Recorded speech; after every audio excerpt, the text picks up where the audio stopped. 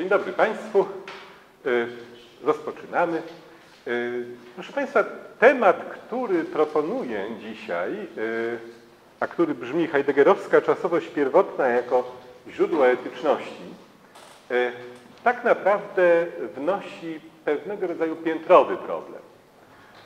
Z jednej strony sygnalizujemy, że będziemy mówić o etyce u Heideggera, z drugiej strony, że źródłem etyczności u Heideggera będzie czasowość. Czasowość pierwotna, którą jeszcze musimy zdefiniować.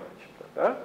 I ta piętrowość y, wymaga y, jakiegoś rozsądnego metodologicznie tutaj postępowania, po to, żeby Państwo nie odczuli tych schodków, po których muszę się wspiąć kolejno, wyjaśniając problemy, które chcę zasygnalizować. Y, rzecz w tym, że kiedy myślimy o y, y, etyce, w przypadku Heideggera, pomijając już nawet całkowicie zagadnienie złej sławy Heideggera związanej z jego akcesją do NSDAP, z jego dosyć tutaj niechlubną kartą z lat 30. i 40., nadal, nawet jeśli zignorujemy ten akurat możliwy zarzut pod adresem filozofa, że jako człowiek w jakiś sposób tu nie sprostał, nadal stoimy przed problemem następującym. Czy rzeczywiście filozofia, która deklarowała się jako ontologia, jako y, projekt ontologii fundamentalnej, bo będziemy tutaj w punkcie wyjścia nawiązywać do projektu ontologii fundamentalnej z bycia i czasu, mogła zarazem być etyką. I z tego względu chciałbym postawić tezę, która E, kategorycznie e, stwierdza, że tak, że ta filozofia, że ontologia fundamentalna Heideggera jest już zarazem etyką. Chcę przez to powiedzieć, że e, pytanie o bycie, które jest centralne w myśli Heideggera, jest już pytaniem etycznym. W jaki sposób? Proszę zwrócić uwagę, że zakładam, że y, y, słuchacze mają pewne wstępne rozeznanie w myśli Martina Heideggera, ale oczywiście przewiduję tutaj również czas na dyskusję, gdyby y, cokolwiek domagało się wyjaśnienia, ale to w późniejszej części naszego spotkania. A problem można wyrazić następująco. Czy tutaj w ogóle y, zasadne jest jeszcze rozróżnianie czegoś takiego jak ontologia i etyka? Czy y, jest coś takiego obiektywnie jak domena ontologii i domena etyki? Czy to pytanie, które Heidegger stawia, pytanie o bycie, skoro ono może, jak sam Heidegger mówił, być rozjaśnione tylko wtedy, kiedy uczynimy przejrzystym ten byt pytającego w jego byciu, prawda? czyli właśnie Dasein, ten sposób bycia charakterystyczny dla człowieka, dla bytu ludzkiego. Y, więc czy jest zasadne y, utrzymywanie w ogóle takiego rozdziału? Sam Heidegger troszeczkę ex post, ustosunkowując się do tego zagadnienia, na przykład w liście o humanizmie, co Państwo mogą znać, skłonny był tłumaczyć rzecz następującą. Wychodząc od takiej znanej anegdoty, y, kiedy młody przyjaciel zapytał go po ukazaniu się bycia i czasu, a kiedy teraz, panie Heidegger, napisze pan etykę? Y, Heidegger nie mówi, co dokładnie, jakiej dokładnie odpowiedzi tutaj udzielił, ale zwraca uwagę na fakt, że takie pytanie padło, a ono padło z, pewnego, y, z pewnych określonych pozycji intelektualnych. Prawda? Ono było podyktowane pewną tradycją myślenia, gdzie etyka przychodzi po ontologii, prawda? gdzie jest jasne, że filozof budujący system musi na gruncie pewnej metody najpierw ten system zbudować, musi opracować pewnego rodzaju ontologię, a potem będzie wyciągał jakieś konsekwencje etyczne. Prawda? Etyka wówczas sprowadzi się do jakiegoś rodzaju wyliczenia możliwych konsekwencji określonych rozwiązań ontologicznych. A, ale wszystko, co dla etyki ważne w tym ujęciu, będzie się decydowało, zwróćcie Państwo uwagę, w tym ontologicznym punkcie wyjścia. Prawda? Z tego względu, y, jeśli etyka nie miałaby być tylko nużącym wyciąganiem wniosków z tego, co naprawdę jest istotne i z tego, co y, tradycyjnie sytuujemy jakby w domenie e, ontologii, być może zasadne jest podważenie w ogóle tej różnicy, którą myślenie, e, którą tradycja myślenia zachodniego nam narzuciła. I tutaj Heidegger proponuje odwołanie się do greckich źródeł, do greckiego rozumienia pojęcia etosu, który oznaczał sposób bycia, sposób zamieszkiwania dokładnie. A y, jeśli tak, jeśli y, przystaniemy na takie źródłowe rozumienie etyczności, wówczas bycie i czas, które jest dziełem ontologicznym i opisującym Dasein w jego sposobie bycia, jest już zarazem dziełem y, o ludzkim etosie. Prawda?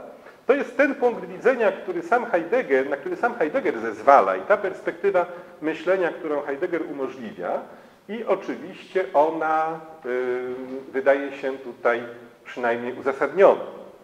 Y, tutaj można oczywiście jednak zadać pytanie, czy y, nie potrzebujemy w, jaki, w jakiś sposób dookreślić problemu etyczności w myśleniu Heideggera, i tutaj zasadniczy, jak sądzę, problem, który y, możemy uchwycić, to jest y, fakt, że y, na gruncie myśli Heideggera oczywiście możemy zadać pewnego rodzaju przedmiotowe pytania, które będą mierzyć w określone fenomeny etyczne.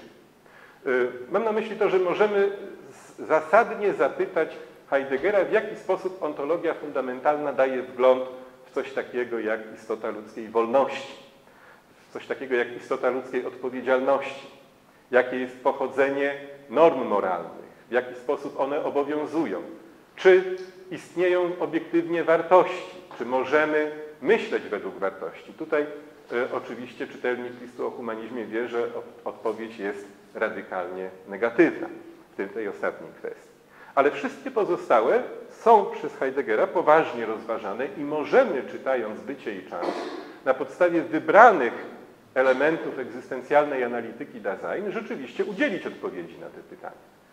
Te odpowiedzi nie będą bardzo autorytatywne, te odpowiedzi nie będą y, niepodważalne i nie będą, y, jakby to powiedzieć, nieinkluzywne, tak? nie zamkną dyskusji, ponieważ nie ma dosłowności tutaj u Heideggera i skoro opisanie y, etyczności człowieka nie było głównym celem, lecz zaledwie jednym z celów, czy momentem w jakiejś drodze myślenia Heideggera na etapie jego filozofii transcendentalnej,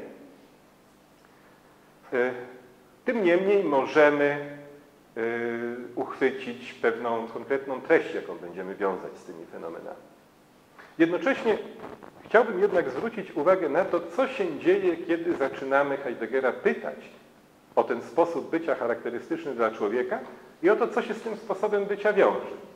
A to już wprowadza w pytanie o bycie, w pytanie o bycie człowieka e, jakiegoś rodzaju intuicję etyczną.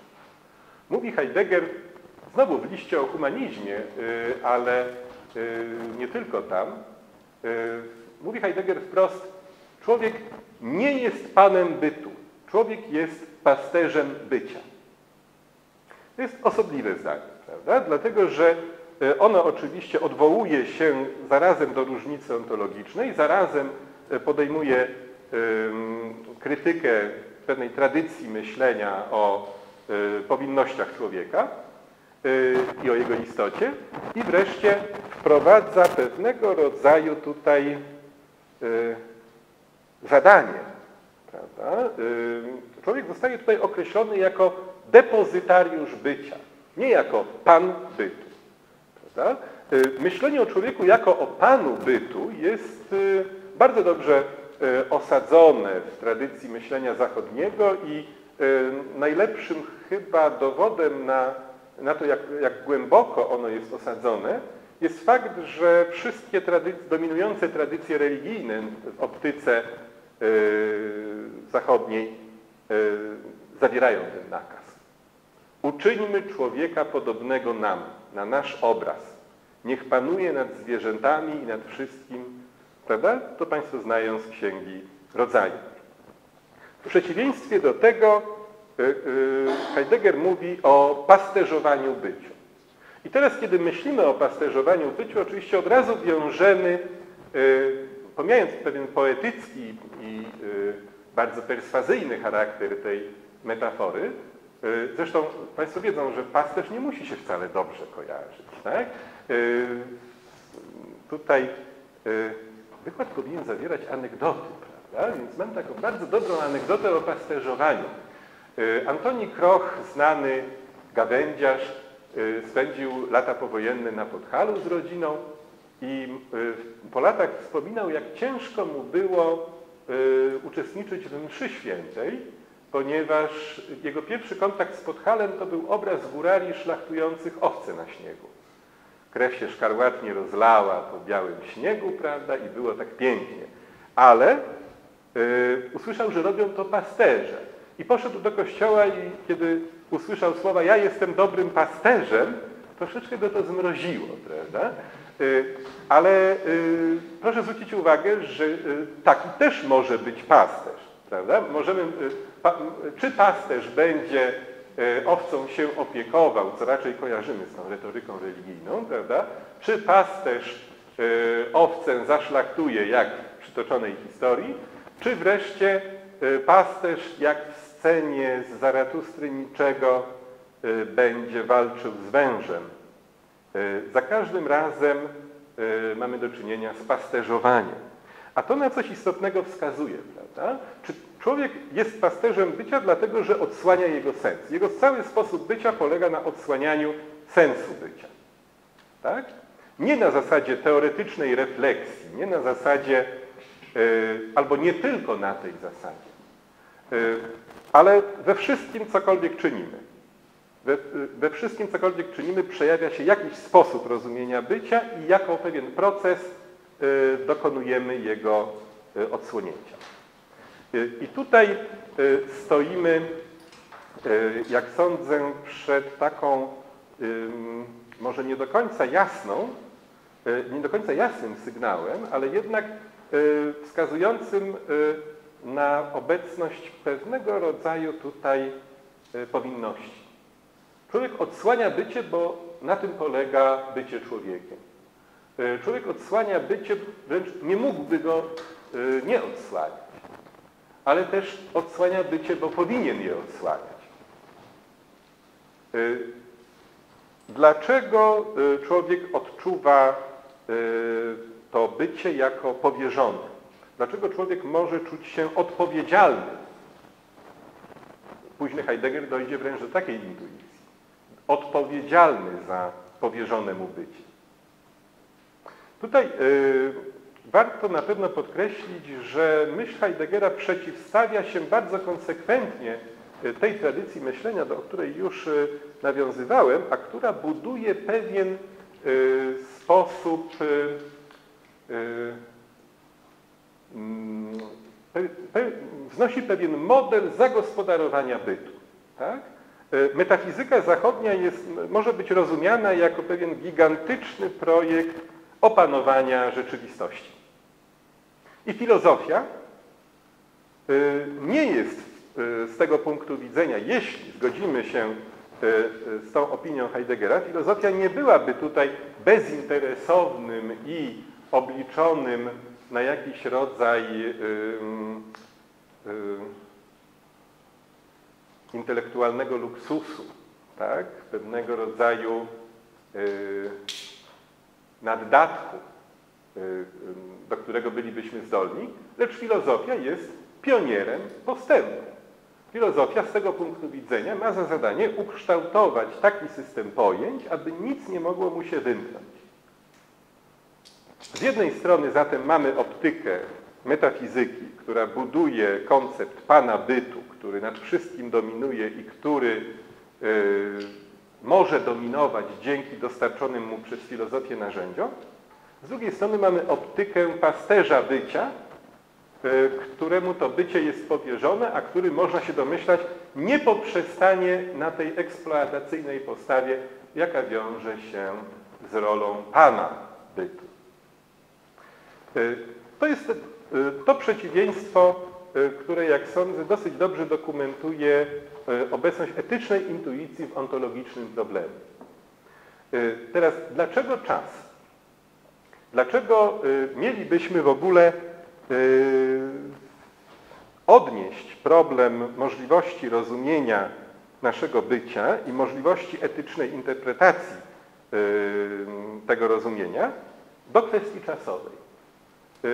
Nie wystarczy odpowiedzieć, że Heidegger w czasowości widzi po prostu moment egzystencjalnej struktury Dasein. Tak, czasowość jest jednym z najistotniejszych elementów, jeśli nie najistotniejszym, egzystencjalnej struktury naszego bycia. Tak? Nie możemy y, pojąć człowieka bez y, czasowości. W istocie człowiek jest czasowością, jest y, czasem źródłowym, pierwotnym. Ten osąd jednak musi jeszcze tutaj zostać poddany namysłowi, jeśli mielibyśmy udowodnić pewną realność związku między myśleniem etycznym czy etycznym kierunkiem myślenia Heideggera, a tymczasowym określeniem y, bycia ludzkiego. Przede wszystkim, za co odpowiada czasowy charakter naszego rozumienia. Y, możemy uchwycić sens bycia tylko poprzez y, czas. Jak powie Heidegger wprost w byciu i czasie, bycie rozumiane jest ze względu na czas odwołuje się tutaj już do pewnego swojego rozpoznania dotyczącego tego, co to znaczy rozumieć i oczywiście warto to rozpoznanie przytoczyć. Y, rozumienie ma taką strukturę, że kieruje się na sens. Tak? Czym jest sam sens? Sens jest tym, mówi Heidegger, w czym utrzymuje się zrozumiałość czegoś. Ta, to wyjaśnienie nie musi być Yy, najbardziej zadowalające, ale ono wskazuje pewien istotny mechanizm. Rozumiemy coś ze względu na coś innego. Rozumiem dowolny element świata yy, mojego otoczenia ze względu na inne elementy, które utrzymują go w tej roli, jaką ten element przybrał. W tym znaczeniu pulpit rozumiem łącznie z systemem, do którego należy papier, kreda, oprzyrządowanie pozwalające nam na rejestrację e, tego spotkania, e, światłem, które zezwala na zalanie e, pulpitu jasnością godną naszego platońskiego rozumienia i tak dalej, prawda? To te wszystkie elementy tworzą świat ludzki, tworzą jakiś wycinek systemu, który w takim holistycznym ujęciu tworzyłby cały świat ludzki. Bez kogoś, kto mógłby rozumieć y, te byty w tej roli, one nie istniałyby w tym powiązaniu. Nie zostałyby wytworzone w tym powiązaniu w ogóle, prawda? W tym znaczeniu, że system został zaprojektowany zgodnie z pewnymi zasadami y, na przykład ergonomii, z pewnymi zasadami możliwości gospodarowania przestrzenią w budynkach przeznaczonych do edukacji i tak ale główne znaczenie jest takie, że świat, świat ludzki to jest po prostu system sensownych odniesień, które jako takie istnieją tylko ze względu na Dasein. Na ten sposób bycia charakterystyczny dla człowieka. Tymczasem metafizyka skłonna była zawsze rozumieć bycie tylko w jeden sposób, na sposób obecności. I metafizyka mogła tak rozumieć bycie, dlatego że y, w określony sposób już rozumiała czas. Czyli tutaj znowu jest pewnego rodzaju opozycja. Heidegger mówi, bycie zawsze jest rozumiane ze względu na czas. To znaczy, możemy jakoś rozumieć bycie dowolnego bytu, to w jaki sposób on jest, ze względu na czas. Ale dla metafizyki kierunek był odwrotny. Czas jest tylko jednym z bytów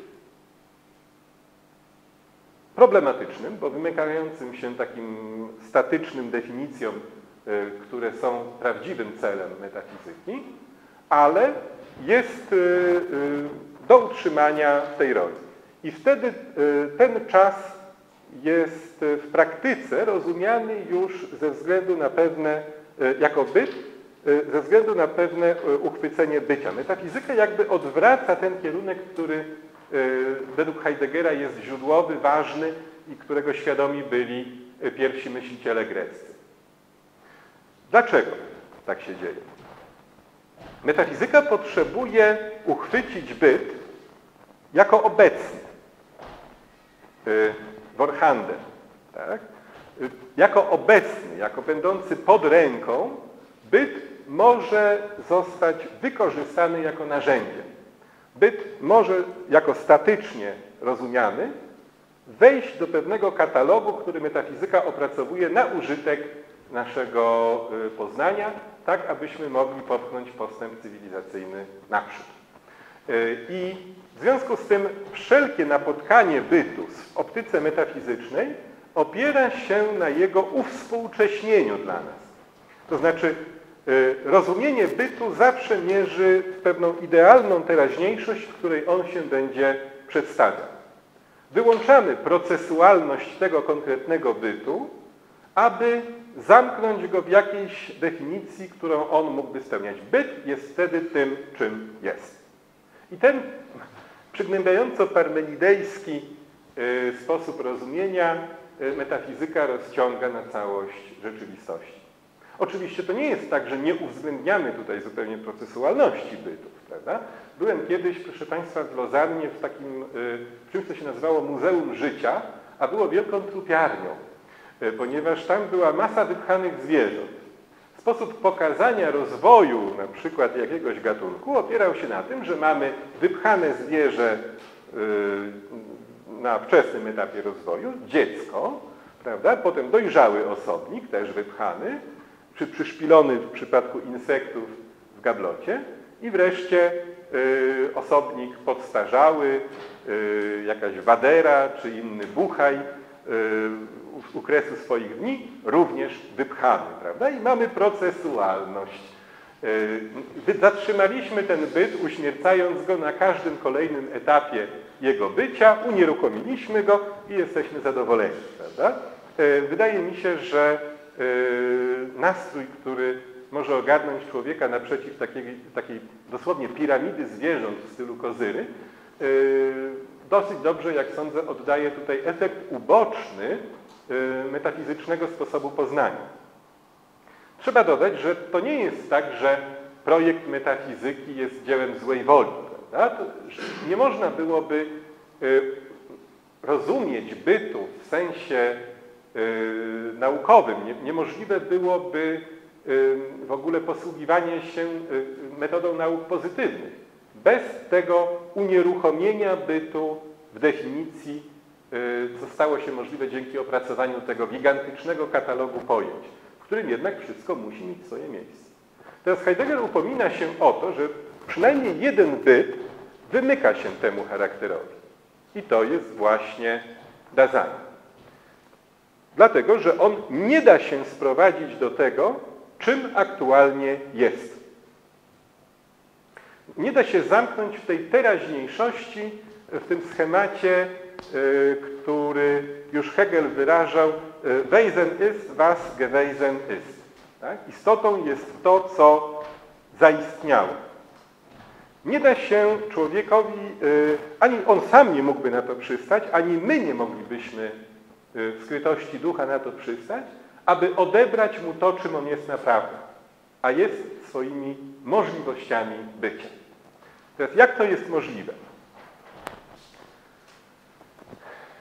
Dasein nie jest podmiotem w sensie tradycyjnym. Tak? To jest jakby naj...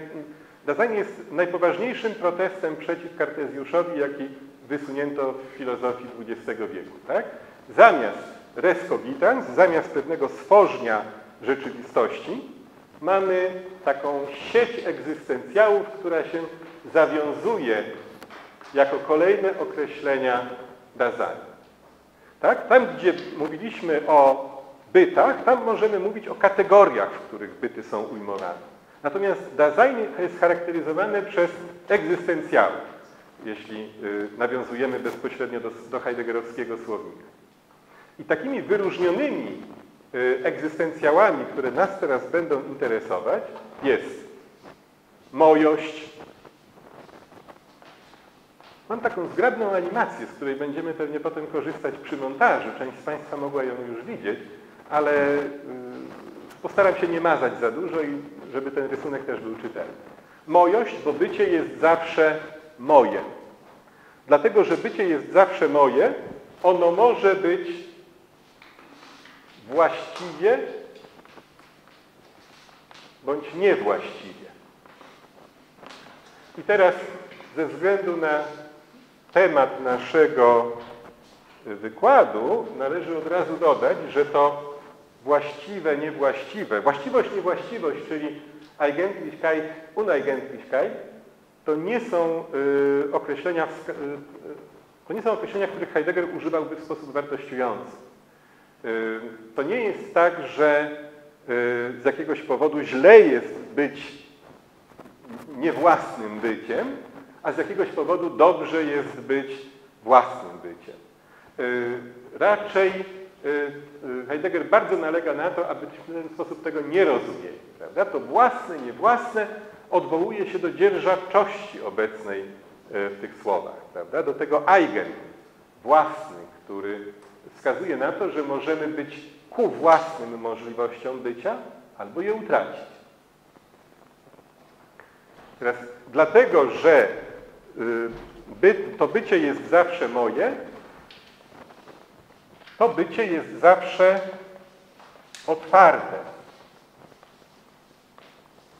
Zaraz. Otwartość, która yy, uprzedzając nieco yy, dalszy ciąg naszej analizy, no, bezpośrednio będzie wiązać się z zagadnieniem wolności. Tak? Ale istotne jest to, że otwartość umożliwia w ogóle napotkanie czegokolwiek. I dlatego tutaj ten motyw y, etyczny tak silnie wiąże się y, z ontologicznym rozpoznaniem. Y, właściwie od tego momentu moglibyśmy już nie mówić etyka-ontologia. Jakby sztuczność i umowność tej granicy etyka-ontologia została już dawno zniesiona. Otwartość konstytuuje się w takich trzech egzystencjałach, jak rozumienie, położenie i mowa.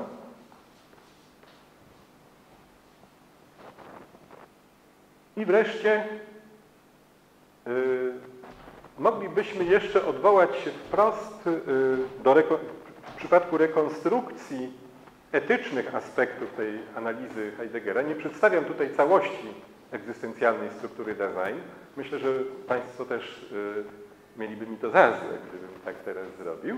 Y, ale te elementy tylko, które będą istotne dla wydobycia po pierwsze etycznego sensu myśli Heideggera, po drugie udokumentowanie tego, jak silnie związana ona jest z heideggerowskim myśleniem o czasie.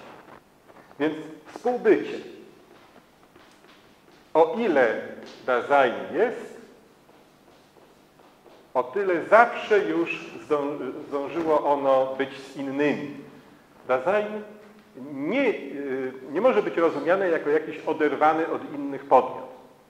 My jesteśmy z innymi i to do tego stopnia, że y, ten termin inni, mówi Heidegger, wprowadzono po to, aby ukryć naszą własną istotową przynależność do nich. W punkcie wyjścia Dasein jest jak inni i zwykle w tym punkcie wyjścia pozostaje. Wreszcie, całość struktury egzystencjalnej Dasein, również z innymi egzystencjałami, których tutaj w tym momencie nie potrzebujemy wymieniać, całość, a to jest dobre pytanie, czy w ogóle możemy tutaj mówić o całości. To nie jest, powtarzam, jakiś yy, yy, kartezjański byt, jakaś res, substancja, która y, mogłaby być, y, która z definicji jest rozumiana jako pewna całość.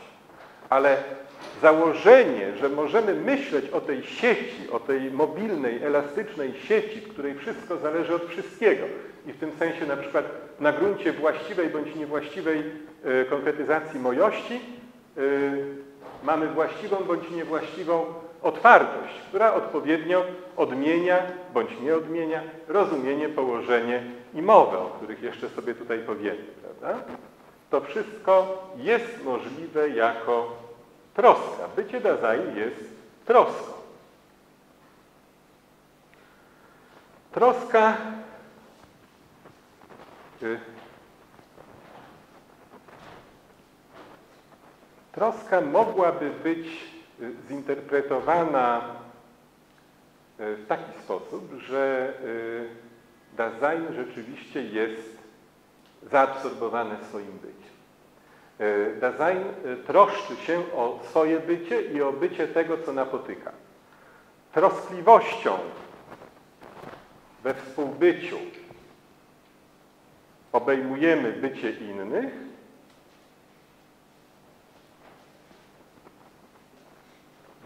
niemieckim języku ta troskliwość to Fürsorge i zwracam na to uwagę, dlatego że to tak ładnie brzmi. To jest troska dla kogoś. Prawda? Ale możemy też zatroskaniem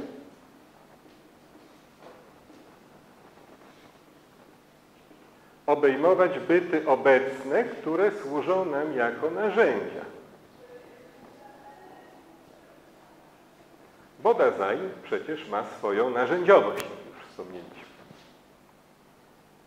Teraz cała ta y, y, szeroko rozpięta struktura ma jako jedność odnajdywać się w trosce. Tak? To znaczy zgodnie z zasadą, o której Heidegger wspomniał, że pytanie zawsze musi przejść ku warunkom możliwości, tego, o co pytamy, y, w trosce odnajdziemy sens całej tej struktury, która nam się przedstawia. Nasuwa się oczywiście wtedy pytanie, a y, y, czy troska jest ostatecznym uzasadnieniem, czy mm, ona sama nie potrzebuje jeszcze takiego wyjaśnienia? I odpowiedź brzmi tak, potrzebuje. I tym, i tym właśnie wytłumaczeniem możliwości troski będzie czas.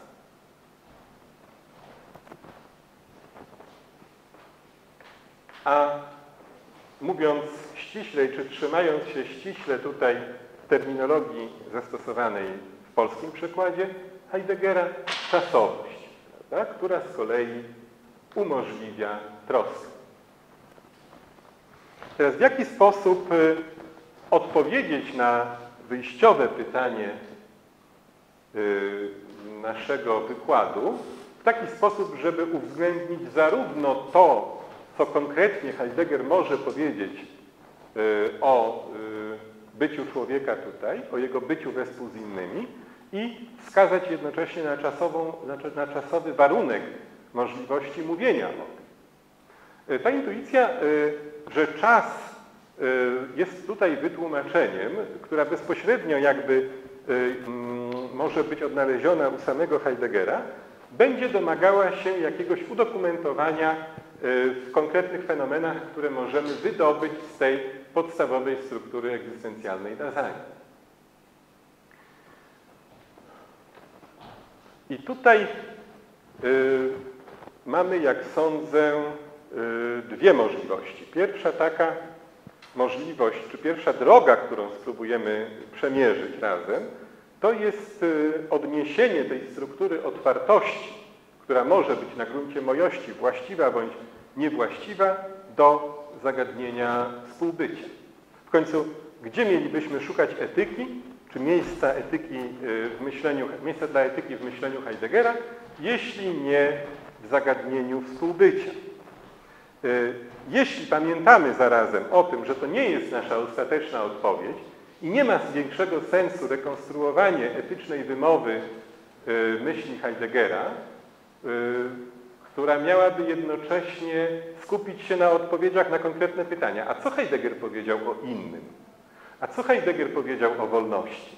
Państwo wiedzą, że wielu filozofów padło ofiarą swojej skłonności do bonmotów, prawda? Yy, tutaj Nietzsche, mistrz bonmotu i mistrz anegdoty, yy, przecież on był taki memiczny, prawda? On do dzisiaj taki jest i Y, jak, jakże łatwo ta myśl poddaje się jakiegoś rodzaju spłyceniu kiedy sprowadzamy ją do, do, do tego rodzaju podsumowania. Prawda? Tutaj jakby nowomowa internetowa pogłębia ten problem w czasach najnowszych, a nie, z całą pewnością go nie rozwiązuje. Sartre, piekło to inni. Prawda? Więc warto podkreślić, że Heidegger unikał takich jednoznacznych deklaracji i co więcej, istnieje taki zapis w testamencie Heideggera, w którym on nie zgadza się na opracowywanie jakichkolwiek indeksów w jego dziełach. Tak? Czyli nie można sobie na przykład wrzucić jakiegoś pojęcia, przynajmniej teoretycznie, bo tak naprawdę są sposoby, nie? Ale przynajmniej teoretycznie jest wyraźna sugestia, żeby nie postępować tak, że wrzucamy dane pojęcie do jakiejś wyszukiwarki i dowiadujemy się, co Heidegger o tym sądził, prawda? Bo to nie jest sposób, w jaki to pojęcie może być nam dane adekwatnie. Musimy uwzględnić tutaj coś więcej. Musimy uwzględnić sposób, w jaki to pojęcie zostało nam w ogóle dane. Z tego względu zalecana jest pewna ostrożność, kiedy idziemy tą drogą.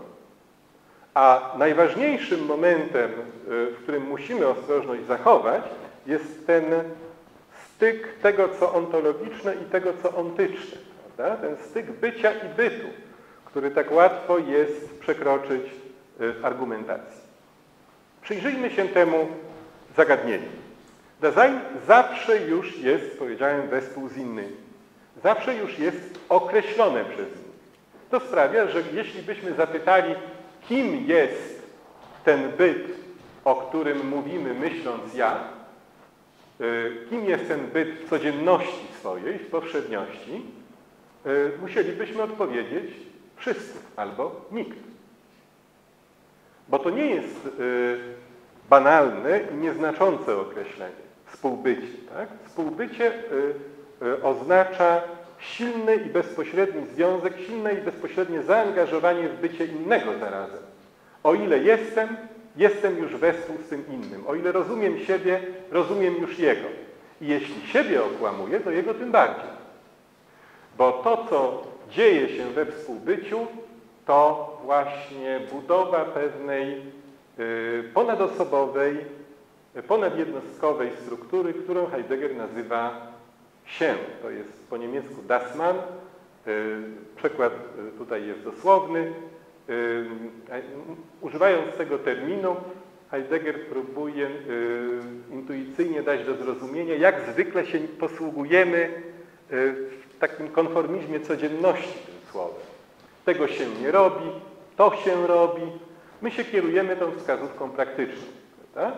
Teraz to nie jest tylko i wyłącznie uzus językowy, ta wskazówka praktyczna rozciąga się na całość naszego doświadczenia y, rzeczywistości, na nasze rozumienie y, świata. O ile zatem jesteśmy we współbyciu, już zawsze określa nas się. Wtedy mówimy to, co się mówi, y, chodzimy tak, jak się chodzi, tańczymy, śpiewamy, Jemy to, co się teraz je, przestrzegamy zasad, mody, wierzymy w to, co nam dano do wierzenia i tak dalej. Prawda? Przy czym trzeba podkreślić, że e, kierkegaardowski rodowód tego konceptu u Heideggera y, zdaje się wskazywać na to, że to musi być koniecznie moment przekroczony. Tak? To jest y, y, moment takiej bardzo Mm, powiedzmy nacechowanej pejoratywnie charakterystyki bytu ludzkiego. Tak? Y, możemy mieć pewnego rodzaju trudność tutaj y, w zrozumieniu, co Heidegger chce powiedzieć, kiedy mówi, że ukonstytuowanie się jest właśnie najpełniejszym i pozytywnym ukonstytuowaniem ontologicznym. Nie ma powodu, żeby się z tego uwalniać. Dlaczego nie ma powodu? Się udziela odpowiedzi na wszystkie pytania. Się wie. Się rozumie. Prawda? Się y, zna te pytania, zanim mogliśmy je zadać. Zadaniem się, a, do, a się budujemy wszyscy razem, I ani Heidegger nie był tu wyjątkiem, ani ja nie jestem, żeby nie było, prawda? Ani Dorian, ani nikt tutaj obecny. Tak? Się buduje pewnego rodzaju strukturę rozumienia wokół nas, która ma oddzielić nas od nas samych. Czym jesteśmy? Naszymi możliwościami bycia. Chodzi o to, żebyśmy ich nie widzieli w tym charakterze. Ale Heidegger mówi, to nie jest źle. Dlaczego to nie jest źle? Bo co to tak naprawdę oznacza bycie na sposób się? Widać, że Heideggerowi tutaj bardzo zależy na tym, żeby absolutnie nie budować właśnie na wzór Kierkegaarda jakiegoś rodzaju soteriologii tutaj. Tak? Przynajmniej nie na tym etapie. Y, się daje nam kompletną wykładnię świata, mówi nam, jak mamy rozumieć wszystko, co nas otacza, mówi nam o tym, czym jest skąd i dokąd naszego bycia. Bez tego rodzaju wskazówki, bez tego rodzaju podpowiedzi nie wiedzielibyśmy, jak być, jak żyć. I bylibyśmy w trwodze. Ponieważ to o tę trwogę tu chodzi, o właściwe położenie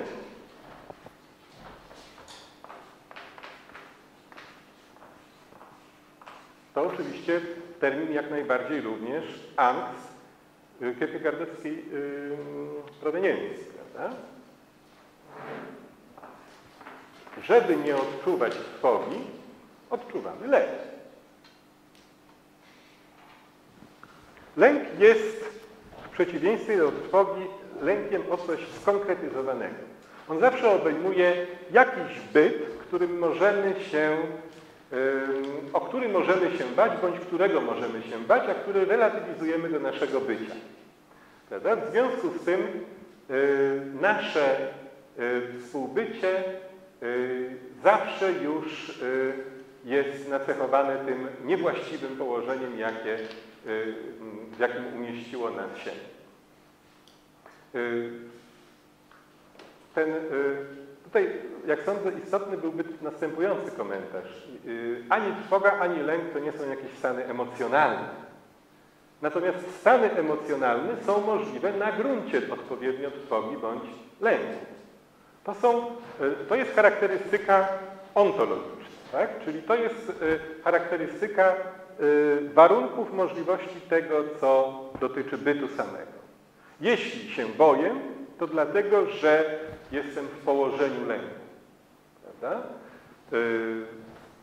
Proszę sobie wyobrazić sytuację, że wychodzimy na przykład wieczorem, jesteśmy w dobrym nastroju, położenie to, to, tak naprawdę buduje naszą nastrojowość. Jesteśmy w dobrym nastroju, yy, świat do nas należy, nic się nam stać nie może, opada nas dziesięciu zbirów, mamy z nimi jakąś szansę, prawda? Y, może przynajmniej, y, skoro świat do nas należy, to przynajmniej powinniśmy ją.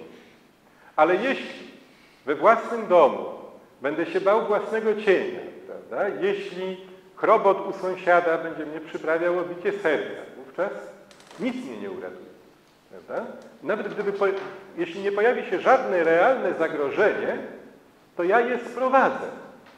Ponieważ nastrój mój przygotowuje nadejście wnętrza świata czegoś, co mógłbym zrozumieć jako y, zagrożenie. Dlatego się mnoży wokół nas nie tylko wyjaśnienia, ale też zagrożenia.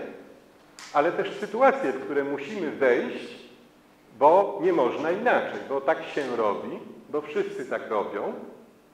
Y, I z tego powodu y, ulegamy tego rodzaju presji.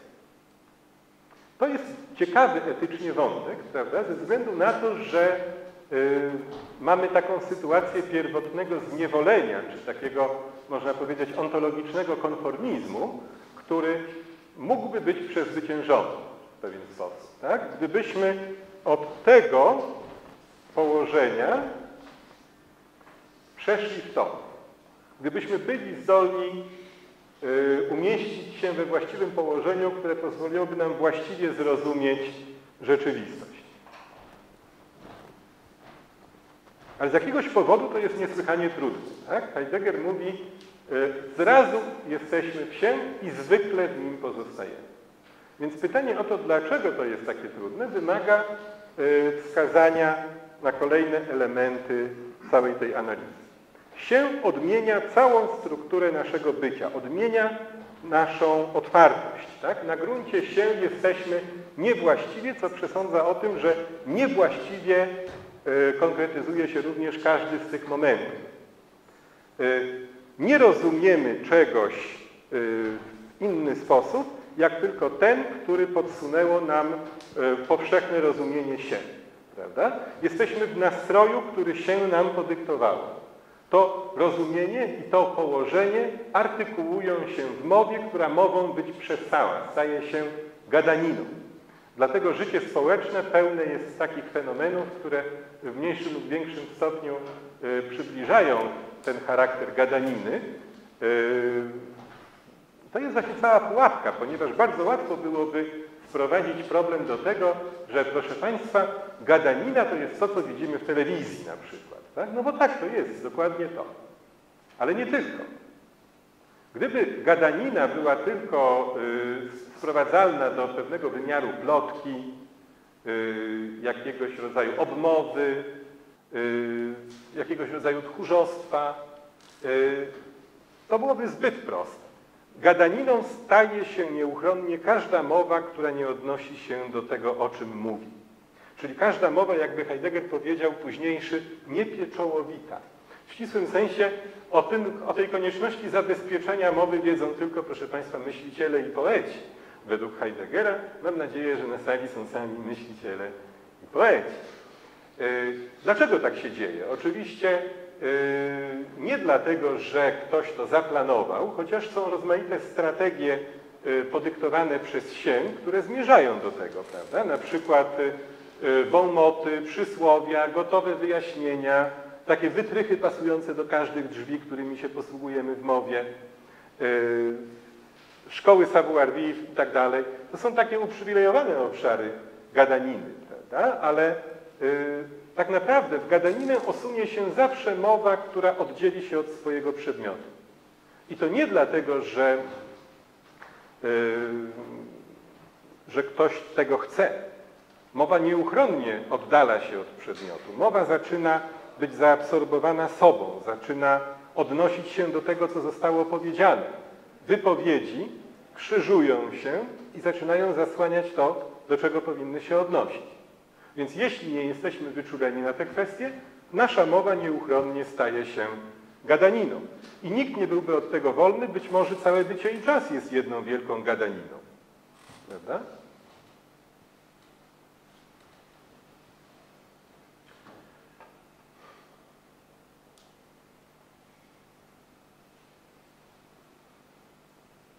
sposób naszego odniesienia się do y, naszego bycia jako się y, może tutaj ulec zmianie. Może ulec zmianie o tyle, że się, y, powtarzam, wkroczyło pomiędzy nas a nasze możliwości bycia. A w takim razie, jeśli te możliwości bycia mogłyby zostać nam przywrócone, moglibyśmy ten proces oddzielenia nas od siebie odwrócić, tak? I przejść z niewłaściwości we właściwość. Wtedy się nie zniknie, ale zostanie w jakiś sposób oddalony, zmodyfikowany. Jak to się dzieje? I tutaj znowu jest pewnego rodzaju y, konkretny fenomen, który można wskazać i którego wagę Heidegger podkreśla, a który być może pozwoliłby, y, mm, pozwoliłby zupełnie zamknąć dyskusję, ale nie możemy tego zrobić, dlatego że właśnie musimy sięgnąć do jego czasowego warunku. Ale tym fenomenem jest śmierć. I to jest pewnego rodzaju tutaj problem. Tak? To znaczy, dlaczego y, właśnie śmierć? Się stwarza iluzję, że zawsze na wszystko mamy czas, to po pierwsze, się stwarza iluzję, że jesteśmy nieśmiertelni. Tak? Się zamyka nas w pewnej bezczasowości, w której nie doświadczamy czegoś takiego jak nasza własna skończoność. Pamiętają Państwo mistrza i Małgorzatę? To, co, to, że człowiek jest śmiertelny, okazuje się niespodziewanie. Prawda? I o coś takiego będzie tutaj chodzić. Ale y, z czysto y, ontologicznego punktu widzenia śmierć jest po prostu taką możliwością, której się nie może nam odebrać, bo nie może nas w niej zastąpić. Y, wobec wszystkich ludzkich zaprzątnięć, zajęć, wobec wszelkich ludzkich projektów możliwe jest y, pewne przesłonięcie, możliwe jest oddzielenie człowieka od tego, co, y, czym jest on sam. Ale nikt nie może za mnie umrzeć. Nikt nie może, mówi Heidegger, odebrać abnejmem innemu jego umieranie. Nie wiem, czy to może pocieszyć nas, prawda, ale y, rzecz w tym, że y, no właśnie ta kwestia pocieszenia to jest coś, do czego bezpośrednio powinniśmy się odnieść. Chodzi o to, że kiedy przedstawimy sprawę w ten sposób, to wydaje się, że tak, no to znakomicie. To znaczy, że umrę jako ja. Prawda? Czy to w jakikolwiek sposób y, przywraca mnie sobie rzeczywiście? Co to znaczy, dlaczego y, odpowiedzią na pytanie etyczne, na pytanie o to, jak mam żyć, ma być sugestia, przecież i tak umrzesz jako ty sam. Prawda?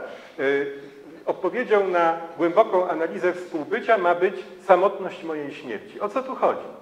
Otóż pierwsza rzecz jest taka, że śmierć nie jest tutaj ontycznym faktem z naszego świata, tylko jest naszą ontologiczną możliwością. Tak, jest coś takiego jak fakt śmierci jest coś takiego y, jak fakt śmierci, z którym będziemy musieli się zmierzyć. Prawda? Ale nie chodzi tutaj o jakiś rodzaj memento mori, y, o, o umieszczenie się właśnie w lęku przed śmiercią, y, lecz o zrozumienie, że istnieje możliwość, którą muszę podjąć. O podjęcie tej możliwości jako możliwości ostatecznej. A skoro jestem nie do zastąpienia w tej możliwości, coś się przede mną odsłoniło, tak? Została zdarta ta zasłona sień, która sugerowała, że przecież moje bycie jest nieskończone, a yy, to i tak nie ma znaczenia, bo mogę być wszystkim, mogę być niczym. Zdążę wszystko, więc nie robię niczego. I yy, o coś takiego by chodziło w doświadczeniu trwogi. Właśnie to trzeba podkreślić, bo Heidegger ma niestety y, opinię mrocznego filozofa rozmyślającego o śmierci. Tak? To bycie ku śmierci, y, właściwe bycie ku śmierci właśnie nie kieruje się na jakiś koniec. Koniec jest y, konceptem, który zakłada, że mamy do czynienia z jakąś gotową całością, która znajduje swój koniec. A tutaj nie ma czegoś takiego jeszcze. Prawda? Y, rozumiemy człowieka jako otwartość, a nie jako jakiś domknięty, statyczny byt, któremu y, śmierć w pewnym momencie wymierzy policzek. Tak? Y, właśnie się operuje naszym lękiem przed śmiercią, żeby nas od śmierci oddalić, od właściwego bycia ku śmierci. W tym sensie bać się śmierci to ulegać nadal dyktaturze się. W tym sensie memento mori jest postawą, którą dyktuje nam się. Ale też uspokajająca postawa typu yy, na razie póki co żyjemy, nic nas nie obchodzi, yy, również jest to określona strategia, którą się dla nas przewidziała. Yy, pytanie brzmi, co się dzieje w trwodze? Heidegger mówi, że trwoga otwiera Dasein na coś takiego jak Unheimlichkeit, nieswojość czy niesamowitość, może lepiej tak można to przetłumaczyć, naszego bycia. Chodzi o to, że dopóki byliśmy w się, dopóty byliśmy doskonale w tym się zadomowieni. Prawda? E, nie ma e, powodu, żeby się opuszczać, bo to jest taka otulina, która ma nam pozwolić żyć. Tak? Po prostu wszystkie pytania zostały za nas rozstrzygnięte, zanim w ogóle mogły zostać zadane. Się to jest religia, w której się urodziliśmy, wiara, do której nas przekonano, prawda? Przesądy i potoczne rozumienie rzeczywistości, które jest znamienne dla naszego czasu. Się to są prawa regulujące życie społeczne. Się to jest przynależność do kultury i do subkultur. W tym sensie nie ma takiego obszaru, którego się by nie obejmowało i nie robiło naprawdę dobrej roboty. Jedyny problem polega na tym, że nie jesteśmy sobą, ale ostatecznie to jest tak niekonkretne, antycznie, prawda? być sobą. Y, z tego powodu, y, kiedy chcemy nakreślić, co właściwie takiego dzieje się w doświadczeniu nieswojości, czy powtarzam, niesamowitości, który odsłania przed nami trwoga, to jest fakt, że nagle zniknęły te wszystkie wskazówki, które nas izolowały od y, bytu jako takiego. Czyli w sytuacji, w której jesteśmy y, w sytuacji, w której jesteśmy w trwodze, odmienia się zupełnie kierunek naszego rozumienia rzeczywistości. Wcześniej rozumieliśmy siebie jako przynależnych do rzeczywistości. Są różne fenomeny, które nas określają, prawda? Jest Bóg, jest społeczeństwo, y, jest praca. Jak pracę narysować? Słucham? Jak? O, bardzo dobrze. Samo jest praca, jest Bóg, są inni. Zarazem sierp i młot to przecież narzędzia. E, kiedy jesteśmy wsię, kierunek rozumienia wygląda tak.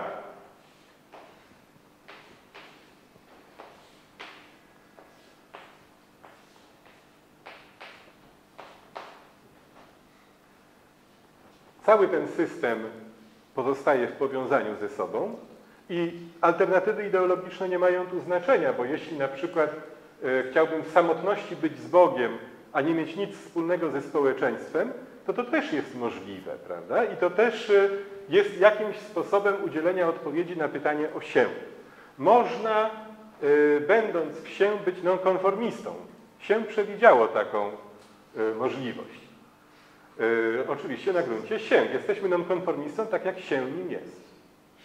Y, I po kolei tłumaczyło mnie to, co robię, czym się zajmuję. Prawda? Tłumaczyła mnie ideologia na przykład marksistowska, jeśli chodzi o moją pracę. Nie? Tłumaczy mnie y, mój status dziecka Bożego, tłumaczy mnie mój status członka społeczeństwa. To wszystko pozostaje ze sobą w związku i dzięki temu wszystkiemu ja jestem sobie znany i zrozumiały. Teraz jeśli odwrócimy ten kierunek myślenia,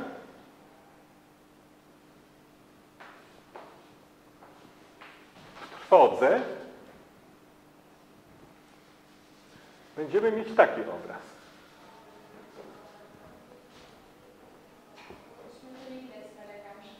Okej, okay, to właśnie dlatego wtedy są przydatne prezentacje. Nie?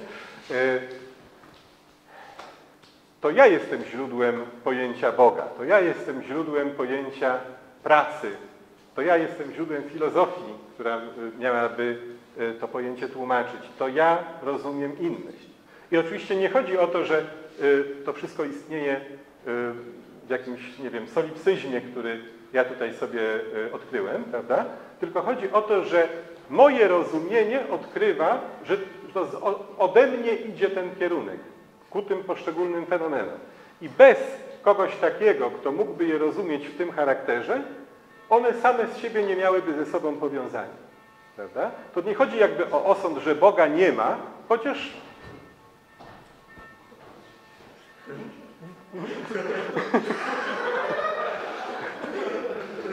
Nie chodzi o osąd, że Boga nie ma, tylko że nawet gdyby był, to nic by się tutaj nie zmieniło.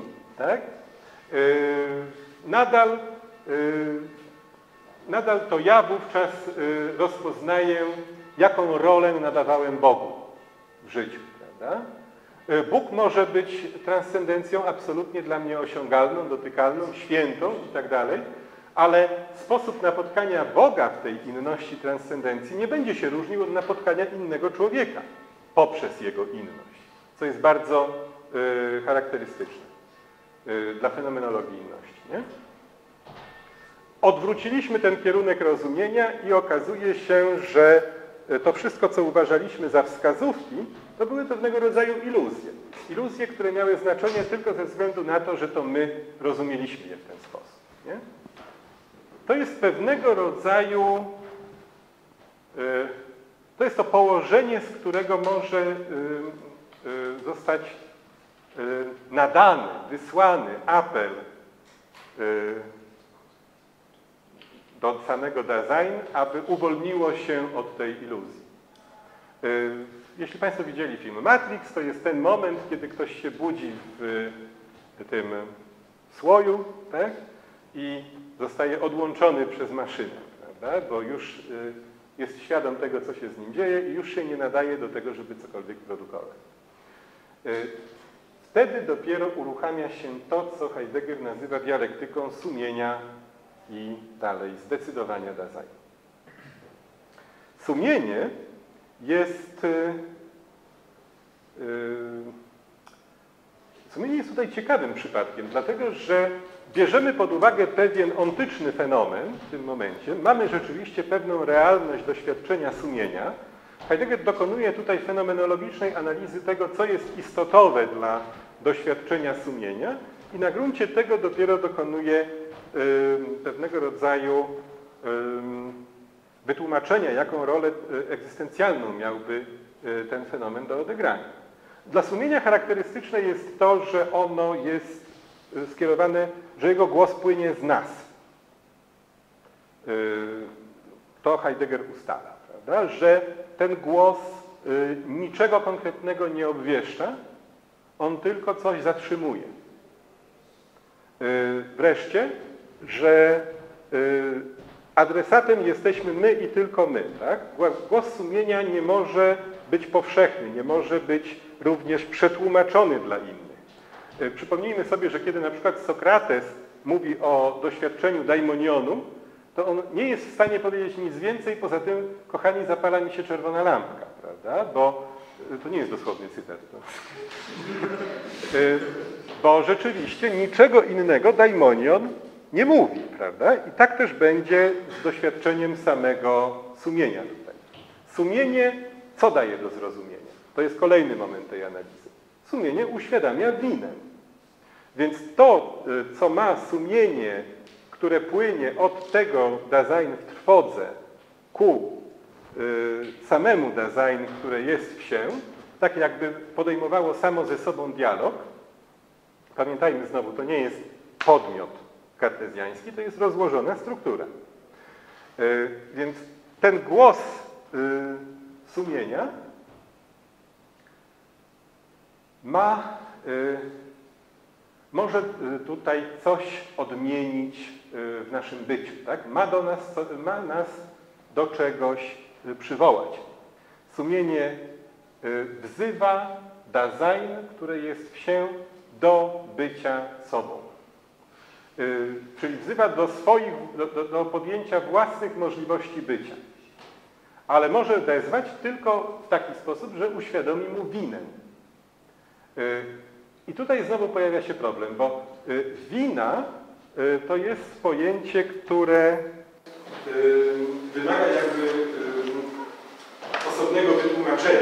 Możemy generalnie przystać na to, że wina wiąże się, mówi Heidegger, z, z byciem podstawą nieważności czegoś. Jesteśmy przyczyną jakiegoś braku. Jak to odnieść do egzystencjalnej struktury designu? W jaki sposób miałoby to być ważne dla y, etycznej y, roli, jaką sumienie odgrywa w przywróceniu designu własnym możliwościom bycia? Nasze bycie, powie Heidegger, jest nieuchronnie unicestwianiem możliwości. Y, możemy to scharakteryzować w ten sposób, że design zawsze jest tym byciem ku możliwością,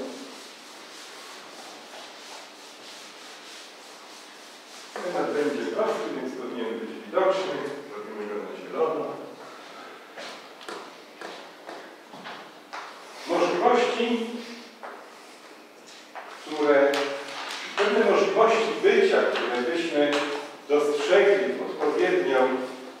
odpowiednią etapach naszej egzystencji możemy sobie przedstawić jako taki rozgałęziający się labirynt. Prawda?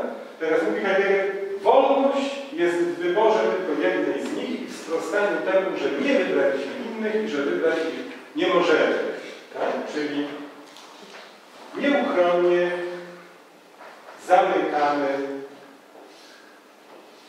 pewne możliwości bycia, aby inne podjąć. Podjąwszy, otwieramy pewne spektrum możliwości, które znowu musi zostać przez nas unicestwione w momencie wyboru. Czyli wolność jest tyle, że w wyborze, co i w zniesieniu tego, że czegoś wybrać nie mogliśmy. Prawda? Wolność jest tyleż urzeczywistnieniem wyboru, co oddaleniem możliwości. I zwracam Państwa uwagę, że tutaj Heidegger wprost używa słowa wolność. Prawda? Więc jesteśmy chyba na dobrym tropie. Czyli nasza, nasze sumienie miałoby nam uświadomić to, że y, powinniśmy podjąć właśnie ten rodzaj naszej winy. Tak? To nie jest wina, która wiąże się z jakimś rozmyślnym zawinieniem, bo nie możemy nie unicestwiać możliwości. Prawda? Nie możemy urzeczywistnić wszystkiego, nie możemy być wszystkim. Y, nie możemy również nie możemy również zamknąć się zupełnie na ten wymiar możliwości. Się oczywiście podsuwa nam taką interpretację, że przecież nic się nie dzieje, bo no cóż, nasze bycie jest nieskończone, prawda? Więc w nieskończonym okresie czasu na pewno zdążymy zrobić wszystko, na co będziemy mieć ochotę i tak dalej.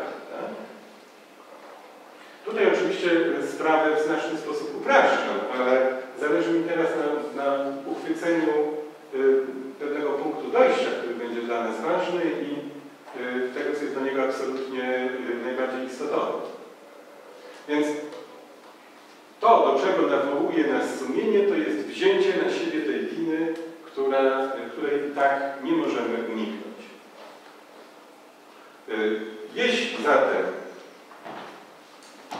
w doświadczeniu sumienia Lazań zostało wezwane do siebie właściwego, a w takim razie, yy, jeśli zbierzemy te poszczególne momenty określenia przez sumienie, objawi nam się struktura otwartości taka, jaka yy, źródłowo oznacza bycie sobą. Czyli sumienie jako uni, yy, głos sumienia, który oznacza milczenie, bo sumienie nie nawołuje do czegoś, sumienie milcząc przerywa właśnie zbiegów gadaniny i y, jest jak takie rażenie gromu. Możemy to sobie, zresztą wydaje mi się, że fenomenalnie można to sobie y, y, przedstawić poprzez, jeśli tylko zwrócimy uwagę na to, jak doniosły jest sam fenomen milczenia, że zwykle rozumiemy mowę jako pewnego rodzaju aktywność, bo nasza kultura i cywilizacja dowartościowuje właśnie aktywność i inicjatywę. Prawda? Aktywność, inicjatywa, postęp i tak dalej. Dlaczego nie ciśniesz? Y, natomiast y, y, jest z tym troszeczkę trudniej, jeśli byśmy mieli zwrócić uwagę na to, że milczenie oznacza pewną również bierność słuchania, gotowość do bierności słuchania. Jeśli nie jesteśmy w stanie zrezygnować z aktywności mówienia na rzecz bierności słuchania, popadamy w gadaninę. Ale jeśli damy, yy, jeśli pozwolimy, ale abyśmy dosłyszeli ten głos, który jest tylko i wyłącznie znaczącym milczeniem, wówczas otworzy się przed nami Heidegger tego rodzaju możliwość. Naturalnie to nie jest żadne proroctwo. Nikt nie ma najmniejszych powodów, żeby kroczyć tę drogę. To znaczy. Umilkłe gotowe do trwogi, bo przecież ku trwodze kierowało się nasze położenie, projektowanie się na najbardziej własne bycie winnym.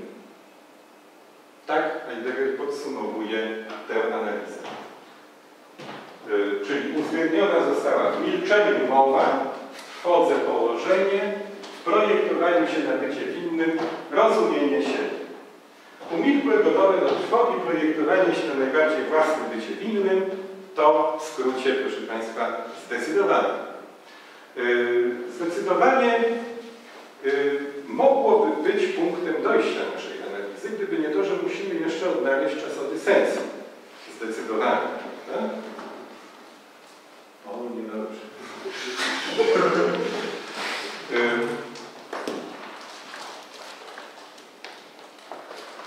Zdecydowanie wprowadza nas w naszą własną winę. Tak? Wprowadza nas w możliwość bycia winnym na swój własny sposób. Powtarzam, to nie jest tak, że to jest jakieś, że, że tutaj akurat ujawnia się jakaś z kolei mentalność punityna Heideggera czy coś takiego. Wina tutaj nie jest winą w sensie moralnym, ale warunkiem możliwości moralnego zawinienia. To znaczy, Heidegger nie mówi, że jesteśmy, jeśli mówi, że jesteśmy egzystencjalnie winni, czyli w sposób niezbywalny, to nie mówi, że to oznacza, że wszyscy jesteśmy zbrodniarzami, tak trochę w typie Jean Baptiste Clarensa z upadku, prawda? ale że y, wszyscy mamy, y, wszyscy stworzyliśmy możliwość zawinienia, wszyscy tworzymy możliwość zawinienia, raczej tak. Y, możliwość bycia podstawą jakiegoś braku, która praktycznie może oznaczać na przykład moralną winę wobec kogoś. Pomijam zupełnie ekonomiczny sens bycia w sensie bycia dłużnym, którego tutaj rozwijać nie możemy, a który zasługuje na e, osobną uwagę.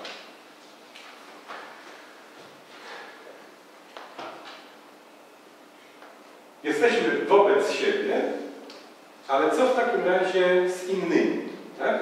Można powiedzieć, że Heidegger przedstawił nam w tej analizie bardzo przekonujący obraz jakiejś autosoteriologii, tak? jakiegoś zbawienia, samozbawienia.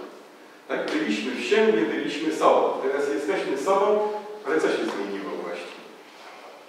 I yy, zwłaszcza co się zmieniło w tych relacjach, w których nawzajem siebie rozpoznają. Bo przecież to nie jest tak, że teraz możemy, yy, że dostaniemy jakiś medal, dyplom, puchar bycia wolnym. Prawda? Co to znaczy, yy, że jesteśmy sobą? Co to znaczy dla tych dwóch istotnych wektorów naszego odniesienia się? Do troskliwości o innych, do zatroskania o narzędzia. Te narzędzia nas teraz tak bardzo nie interesują, o tyle jednak jest to ciekawe, że Heidegger w bardzo indyferentny sposób opisuje nasz sposób bycia wobec narzędzi w zdecydowaniu, tak jakby rzeczywiście to nie miało żadnego znaczenia no, w gruncie rzeczy szklanki tak samo używa człowiek wolny, jak i niewolny, prawda? Natomiast yy, rzecz się trochę komplikuje z innymi, to znaczy Heidegger podkreśla, że zdecydowanie yy, popycha nas yy, bardzo silnie troskliwe współbycie z innymi. Że dopiero na gruncie zdecydowania możliwa jest właściwa wspólnota. Że dopiero na gruncie tego wespół, które się teraz odsłoniło w sposób właściwy, y, możemy podejmować y, troskę o innych jako o innych, tak? jako o ich możliwości bycia. O co tu chodzi? No, gdybyśmy mieli to przełożyć na jakiś przykład ontyczny. Wyzwoliliśmy siebie, tak? co to oznacza, jeśli jesteśmy w relacji z innymi? Czy to, że wyzwoliliśmy siebie oznacza, że y, zamknęliśmy się teraz w wieży z kości słoniowej inni, którzy nas teraz nie obchodzą, zwłaszcza, że przecież tak długo nas oszukiwali, prawda? Y, gdzie y, jest ten moment y, właściwego nawiązania relacji? Otóż ja rozumiejąc swoje bycie w perspektywie tej właściwej otwartości teraz, nie mogę inaczej rozumieć bycia innego. A skoro zostałem wyrwany z gadaniny przez milczenie sumienia, w które się wsłuchałem, nie mogę dłużej w gadaninie uczestniczyć. To sprawia, że, mówi Heidegger, zdecydowane Dasein może być sumieniem innym. I to jest bardzo ciekawy moment, którego byśmy nie oczekiwali yy, od yy, Heideggera, który tak yy, ma tak bardzo gębę zrobioną, prawda, jeśli chodzi o kwestie etyczne. Możemy być sumieniem innych, a nawet moglibyśmy powiedzieć, nie możemy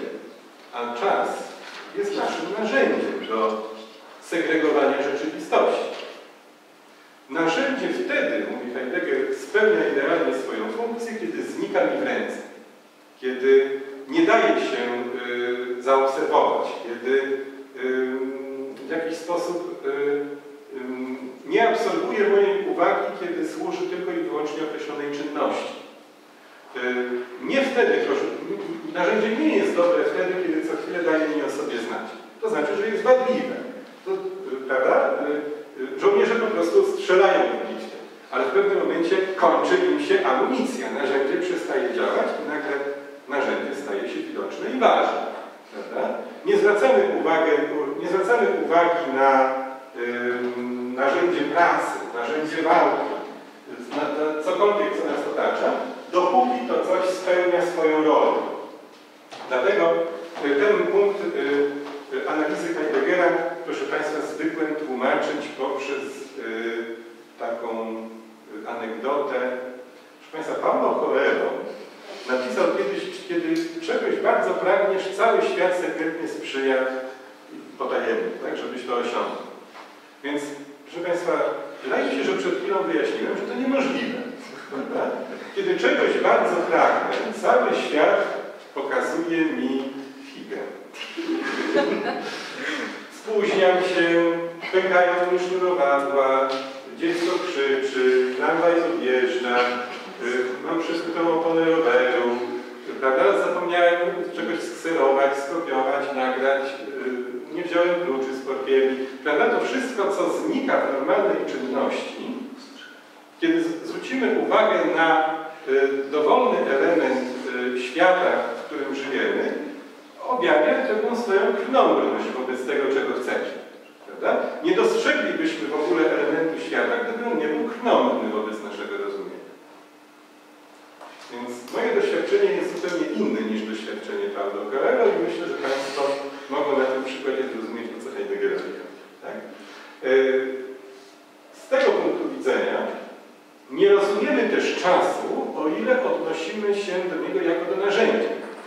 E, albo raczej rozumiemy go posługując się nim, o ile zadajemy czas światu, o ile na przykład patrzymy na zegarek, o ile obserwujemy ruch ciał niebieskich, o ile obserwujemy, czy zrobiło się już ciemno i czy można wracać wreszcie na kolację.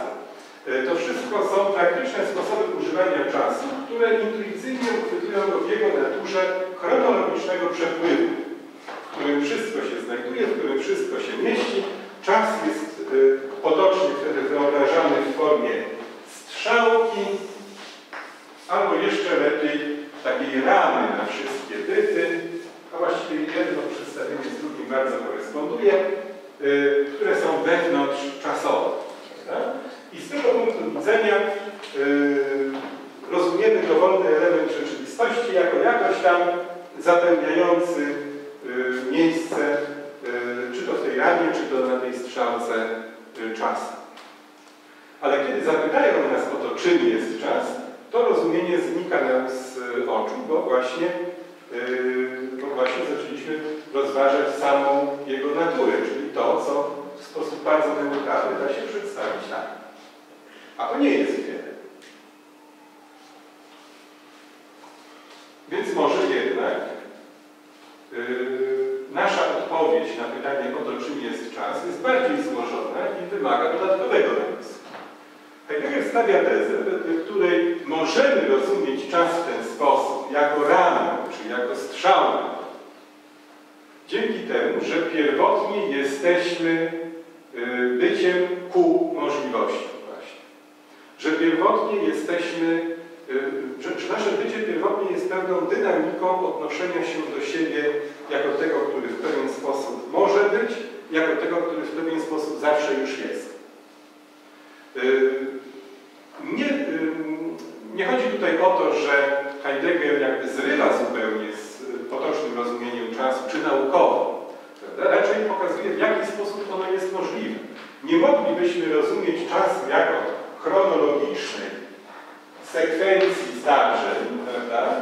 ani nie moglibyśmy rozumieć czasu jako tej idealnej teraźniejszości Augustyna, o której mówi on, że yy, Właściwie czas, to jest, że właściwie teraźniejszość to jest jedyna realność czasu, prawda? Bo możemy co najwyżej mówić nie tyle o przyszłości, co o pewnego rodzaju oczekiwaniu, które kierujemy na byty, które, które pozycjonujemy w przyszłości jako teraźniejsze. Jest teraźniejszość rzeczy przyszłych i odpowiednio teraźniejszość rzeczy przeszłych. To rozumienie, które, którego psychologiczną tutaj adekwatność wykazał już Augustyn, jest możliwe właśnie na gruncie naszego bycia ku możliwości. Więc nie tyle Heidegger tutaj odrzuca całą tę analizę, co pokazuje, że po pierwsze jest ona niewystarczająca, po drugie ona idzie, y, ona sama potrzebuje pewnego warunku możliwości w podmiocie. I to nie jest tak też, że Heidegger tutaj odkrywa Amerykę, prawda? Bo o konieczności uwzględnienia podmiotu w opisie czasu mówi już Arystoteles. Czasowość pierwotna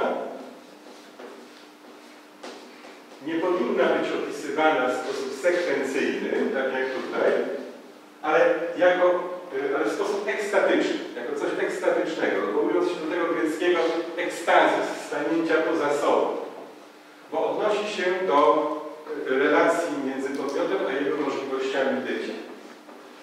To jest chyba najbliższe intencjom Heideggera przedstawienie, jak mogłaby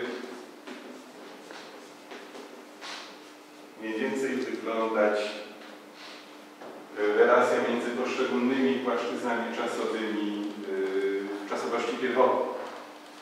Nie chodzi teraz o to, że przyszłość będzie czymś, co na pewno nastąpi, ale jeszcze nie teraz. Tak? W tym sensie, że możemy na przykład mówić o przyszłości, Państwo sobie cały czas operują takim rozumieniem czasu, prawda? Na przykład, kiedy czytamy w gazecie przerażający artykuł do roku 2070, w roku 2070 urodzi się ostatnia blondynka. Przeczytałem ostatnio taki artykuł.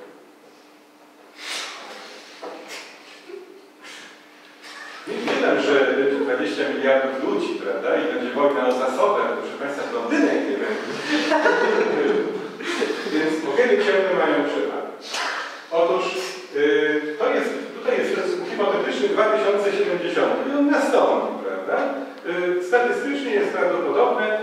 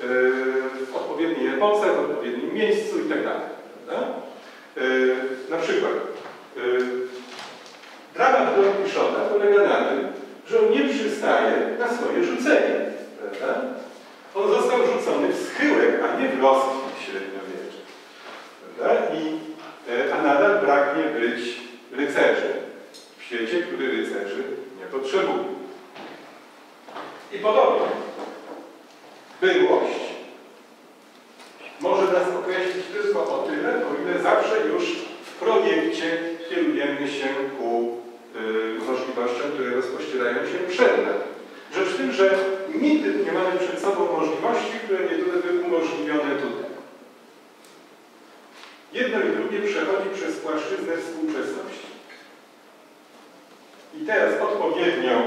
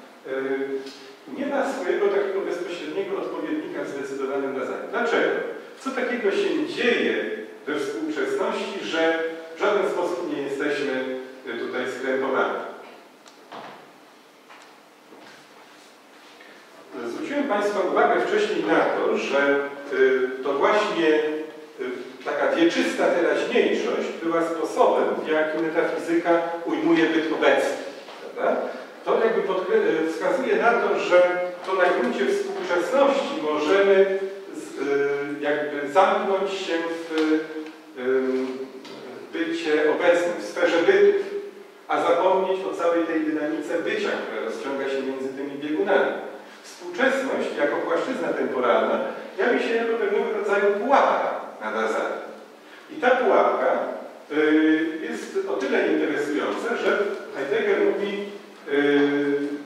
właściwe, zdecydowane Dasein nie zatrzymuje się we współczesności, prawda? tylko podejmując swoje możliwości bycia, przechodzi przez współczesność w okamgnieniu. Czy to jest jeszcze filozofia, czy już poezja? Prawda? Otóż to okamgnienie, Augenblick, to jest po prostu chwila, którą znamy już z filozofii XIX-wiecznej. Rzecz w tym, że rola chwili jest tutaj, jak sądzę, decydująca. Musi zwracać uwagę fakt, że Heidegger twierdzi, że o ile jesteśmy w się, czyli w upadaniu i w związku z tym na gruncie niewłaściwie uczasowionej współczesności, o tyle nie podejmujemy faktycznie żadnych możliwości. Nie podejmujemy własnych możliwości, znaczy tych, które moglibyśmy wybrać jako własne, ponieważ nie mamy do nich dostępu. Się odebrało Ale nie podejmujemy też tak naprawdę tych proponowanych przez się, bo nie rozumiemy ich w charakterze możliwości. Bo yy, nauczono nas tylko przebierać w możliwościach. Żeby podać taki dobry, ontyczny przykład tego, o czym Heidegger mówi tutaj, yy, odwołałbym się, proszę Państwa, do zainspirowanej Heideggerem przemowy Tylera Derwina z filmu Fajna. Czy Państwo widzieli? Yy, że mówią nam, że będziemy gwiazdami roka, telewizji, filmu, ale nie będziemy. Yy, ta konkretna scena, jak sądzę, bardzo dobrze tłumaczy moment przebudzenia się z tej iluzji, że zdążę podjąć wszystko i osiągnąć wszystko. Prawda? Yy, sam Chuck Palahniuk, autor Fajnplanu, przyznał, że koncept Heideggera i Kierkegaarda był tutaj dla niego główną inspiracją. W takim razie, jeśli wyzwalamy się, co może oznaczać to, że doświadczamy chwili? Heidegger mówi, egzystencja niewłaściwa, ta, która nigdy nie podejmuje możliwości, jako możliwości, nigdy nie ma też czasu. Dla egzystencji niewłaściwej charakterystyczne jest takie przeciekanie czasu przez palce, taka ciągła, yy, bardzo zajęta ganianina. Yy, rozumieją to Państwo? Taki strajk włoski przez całe życie, prawda? Kiedy yy, jesteśmy bardzo zajęci, ale tak naprawdę nic nie zrobiliśmy.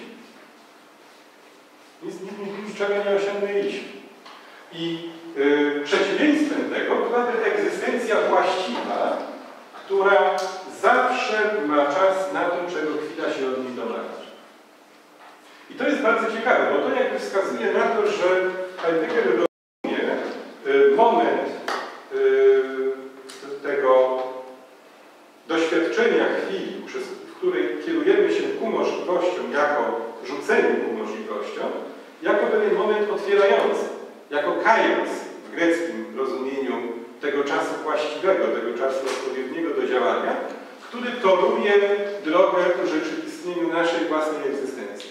Więc stąd taka moja propozycja, którą kiedyś już zaproponowałem yy, w jednej z książek, a która nadal wydaje mi się aktualna, że tak naprawdę to przesłanie yy, heideggerowskie brzmiałoby, aby, yy, jak imperatyw, czyń w każdej chwili dokładnie to, czego ta chwila od Ciebie wymaga. Jest tutaj jakiś rodzaj intrygującej wierności. Jest tutaj jakiś rodzaj domagania się ze strony chwili, który wydaje mi się um, musi być odczuwany w relacji z Kairosem. W rozumieniu tej właściwej chwili, której nie można prześledzić, której nie można przepuścić, bo nie będzie następnej okazji.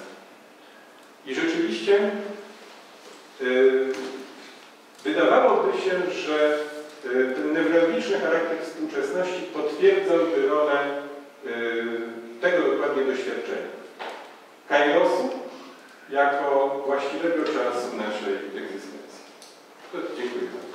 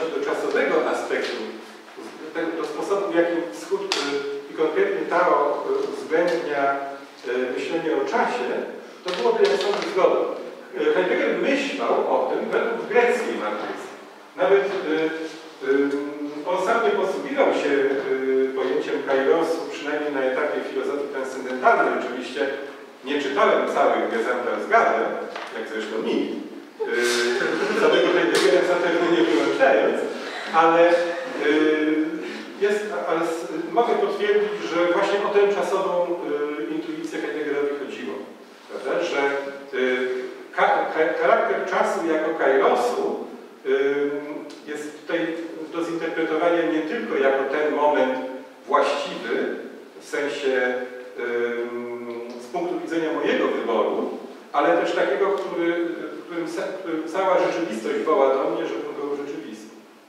Y, tak, bardzo proszę. Ja mam pytanie e, właśnie e, łamania kairosu.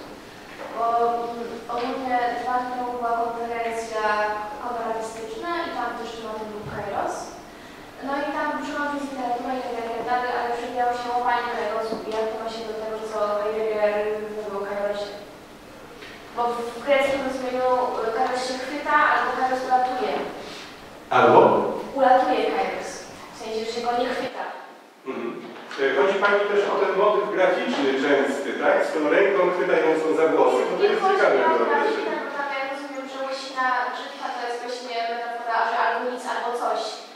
E, Ale nie chodzi o grafikę, chodzi o to, jak e, Heidegger właśnie rozumiał to. Mhm. Ponieważ y, mogę tutaj tylko rekonstruować jego pogląd w tej mierze, zważywszy, że to, co Heidegger mówi, brzmi kairosowo, ale nie padł dokładnie ten termin, prawda, w tym y, interesującym nas aspekcie. Y, na pewno y, na pewno to, to, to chwy, pochwycenie jest tutaj decydujące, ale jest decydujące dlatego, że y, nie mogę, y, jakby nie istnieje dla mnie y, problem przepuszczenia jakiejś konkretnej możliwości, bo ja to cały czas czynię, prawda? Ale tej, która w jakiś sposób jest wyróżniona, której ten, ten czas się konkretnie domaga. Ja bym zwrócił uwagę na to, że y, skoro Pani powołała się tutaj na tę interpretację historyczną, y, bardzo zabawne jest to, że greckie rozumienie kairosu ma też swoje negatywne, ma też swoją, y, swoje pojęcie negatywne, akairos. Akairos. I że akairos jest y, używany przez Teofrasta bodajże wyłącznie w sensie, wyłącznie w odniesieniu do człowieka. W sensie mamy czasowy fenomen kairosu i mamy ludzki fenomen akairosu, czyli kogoś, kto nie potrafi kairosu pochwycić. Właśnie. Czyli człowiek może być akairos i kairos, ale ogólnie czasowo jest nie kairos. Mm. Yy, to tak? Nie, nie, że właśnie używa pojęcia kairosu opisując czas, ale używa pojęcia akairosu opisując człowieka. Co jakby wskazuje na to, że e, w każdym razie mamy kompetencję rozpoznania tego czasu właściwego i jeśli ktoś tej kompetencji, w tej kompetencji zawiódł, można go wykryć. On się pojawia w takich humorystycznych e, aspektach.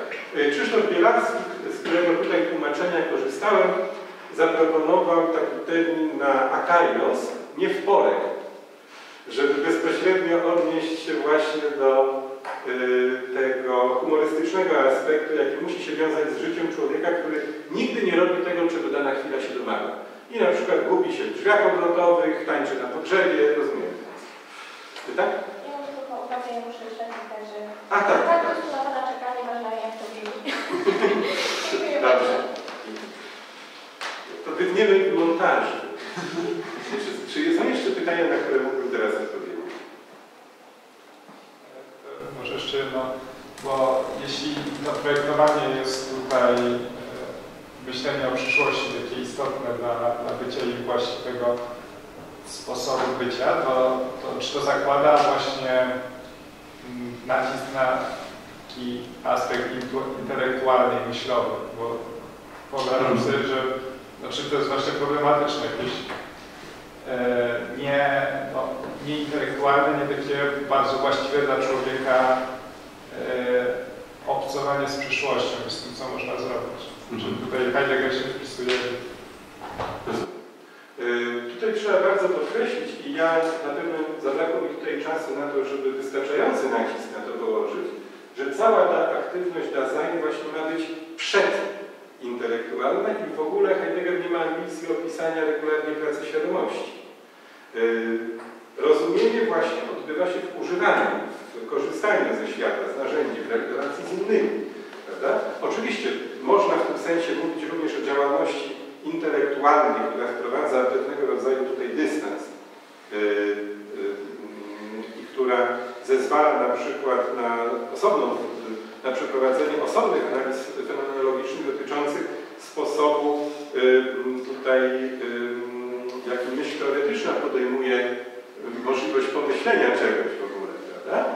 Ale z drugiej strony, z drugiej strony na, pewno najważniejsze jest to, że absolutnie yy, czas yy, yy, tutaj nawet nie pozwala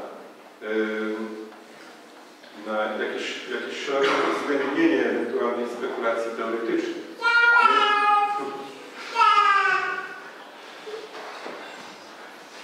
Yy, przepraszam, mój synek mnie rozproszy. Yy, także mówiąc w skrócie, yy, to, to, o czym mówimy, odnosi się do pewnej działalności teoretycznej i z tego punktu widzenia na przykład pisanie bycia i czasu stanowi całkiem dobry przykład pytania o bycie, ale y, działalność teoretyczna stanowi jedynie ułamek, pewien nawet nieszczególnie wyróżniony obszar